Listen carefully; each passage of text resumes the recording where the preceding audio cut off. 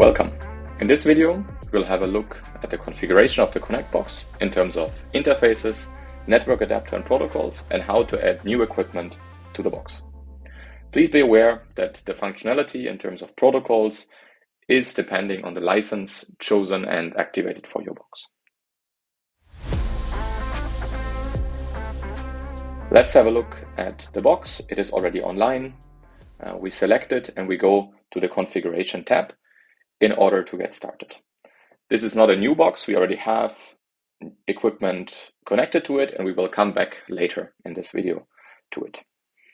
The very first step when you have a new box is to go to the connector tab.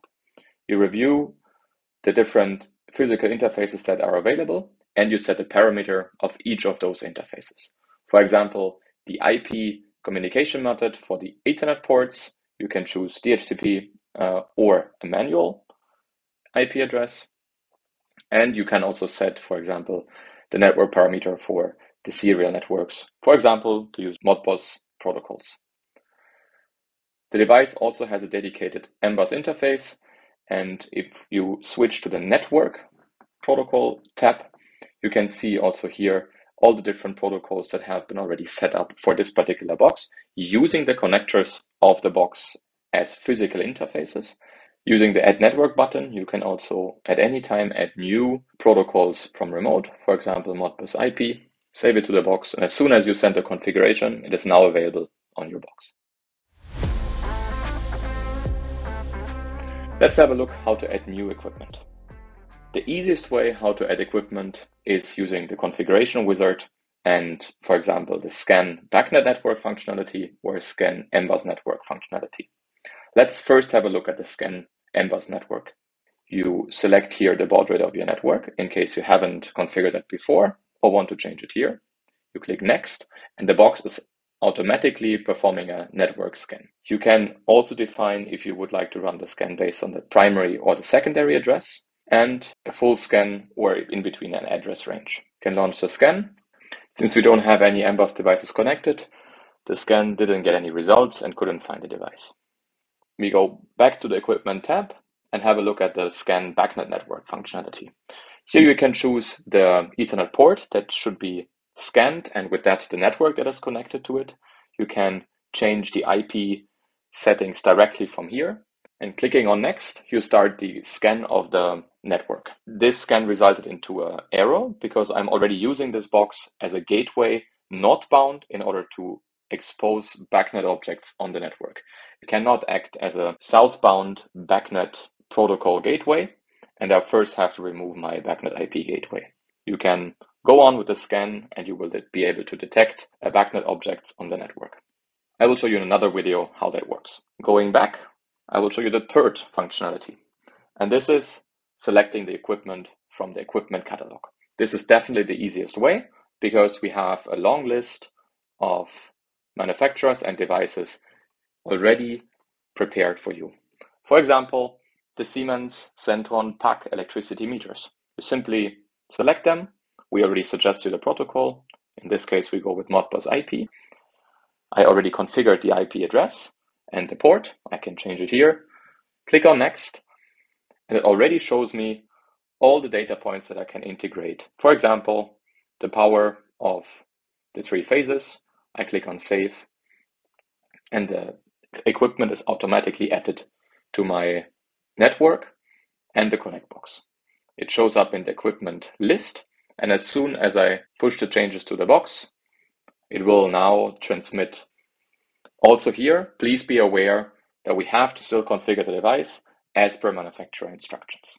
Another functionality how to add devices is via the advanced mode.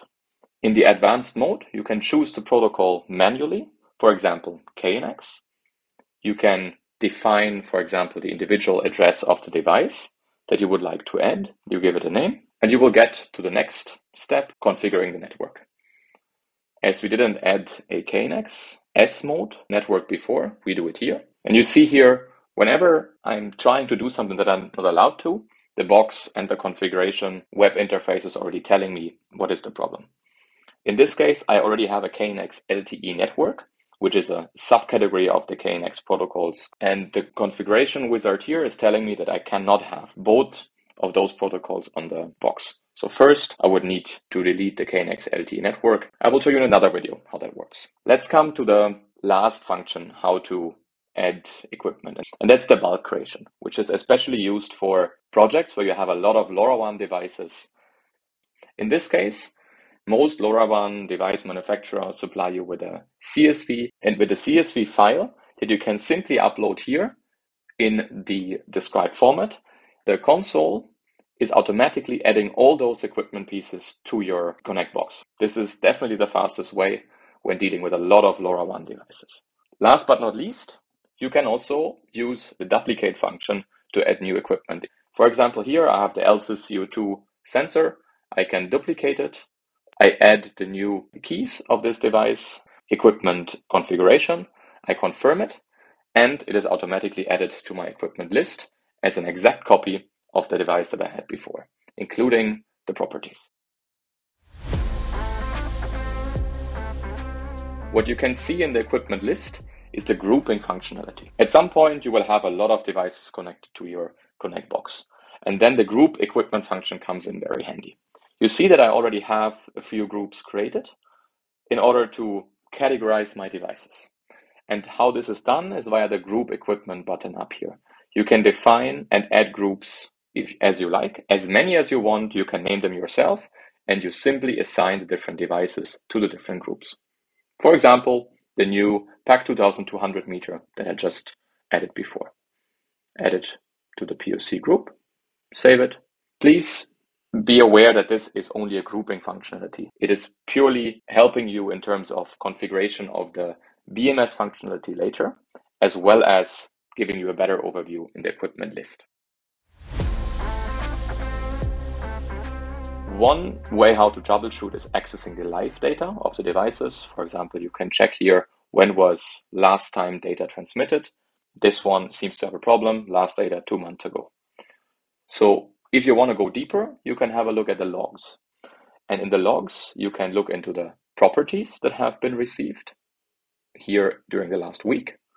You can have a look at specific events, especially helpful for a traditional field bus protocols such as Modbus and LoRaWAN. You can see here different properties and log entries of the devices I have connected.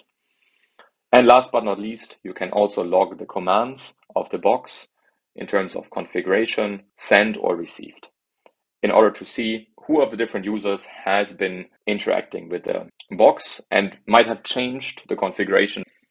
Thank you very much. In the next video, we will have a look at the specific protocols and their detailed functionality.